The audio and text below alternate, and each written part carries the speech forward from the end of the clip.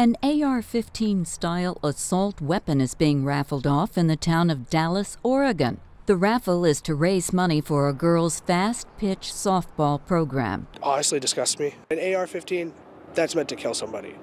That should not be in a civilian's hands, let alone should be raffled off like this. It's to help their sport and it's legal, then they should have the right to do it. Some residents call the raffle tone deaf after the recent shooting in Parkland, Florida. Others disagree. I played football for a couple of years. We sold jerky and we did, we walked around, washed people's cars, mowed lawns, stuff like that. So that was what we did. We didn't auction off rifles. Do you have an AR 15? Yes, I do. You do? And what do you like about it? You can use it for self defense, you can use it for hunting.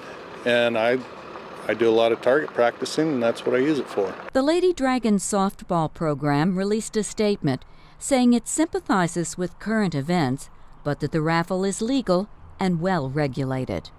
Shirley Smith, The Associated Press.